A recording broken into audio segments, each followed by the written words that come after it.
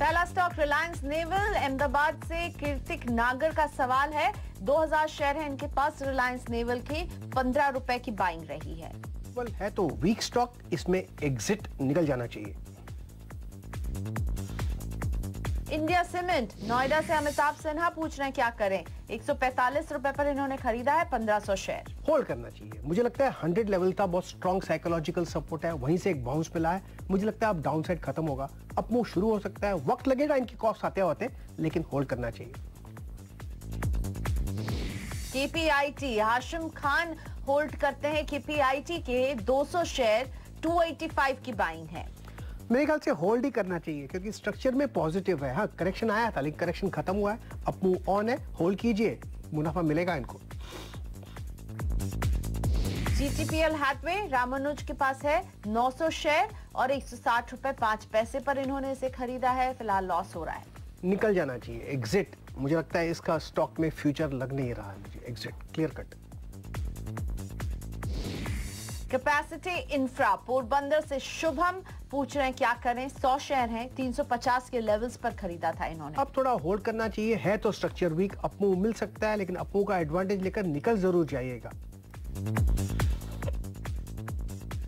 और H D F C life Patna से Viraj hold करते हैं 2000 शेयर तीन सौ तिरासी रुपए पर इन्होंने खरीदा है इसे। बहुत बढ़िया ये तो लॉन्ग टर्म के लिए स्टॉक बहुत बढ़िया है होल्ड करना चाहिए 525 550 का जोन भी देखेंगे। मोरपन लैब पुणे से अमृत जानना चाहते हैं कि 28 रुपए पर इन्होंने इसे खरीदा है। 230 होल्ड करते हैं। क्या करें अभी? थोड़ा अपमूव मिल सकता है इनको 32 और 35 के आसपास मौका मिले तो निकल जाइएगा। आईडीएफसी बैंक कानपुर से देवेंद्र जी का सवाल है। 250 शेयर छियालीस रुपए की खरीद रही है इनकी। मे भी ये भी थोड़ा होल्ड करना चाहिए। 42 44 का ये जोन मिलेगा वहाँ पर निकल जाइएगा ज़रूर।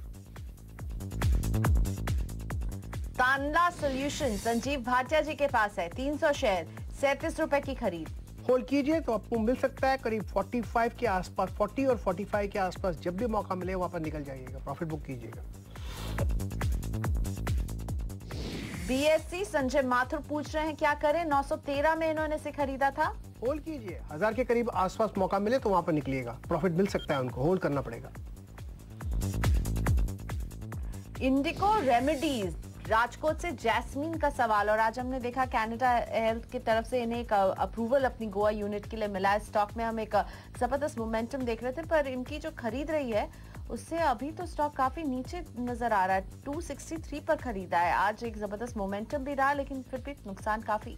है तो वीक स्ट्रक्चर जो भी अपमूव मिल रहा है, वो मुझे फेक लग रहा है। तो मेरे ख्याल से अपमूव का एडवांटेज लेकर निकल ज़रूर जाएगा, क्योंकि बेसिकली स्ट्रक्चर इसका वीक है। रेसिस्टेंस बहुत है, करीब 190 के आसपास। चांस मिले तो वहाँ पर निकल जाइएगा। डेल्टा कॉप रांची से सौरभ पांडे पूछ रहे हैं अ, क्या करना चाहिए? 270 के लेवल्स पर इन्होंने से खरीदा था। 60 शेयर हैं करीब 28 रुपए पर शेयर कुछ नुकसान इन्हें हो रहा है। होल्ड करना चाहिए और होल्ड भी करना चाहिए medium term to long term के हिसाब से। अब ऐसी जगह पर ट्रेड कर रहा है यहाँ पर लगता है कि कंसोलिडेशन हो रहा है। आपको मिलेगा 300 का जोन भी देखने को मिल सकता है Delta Corp. South Indian bank Hisar से प्राण का सवाल 500 शेयर हैं इक्कीस रुपए पच्चीस पैसे की खरीद। बिल्कुल होल्ड करना चाहिए। 24 का एक मौका मिलेगा निकलने का 24 के आसपास।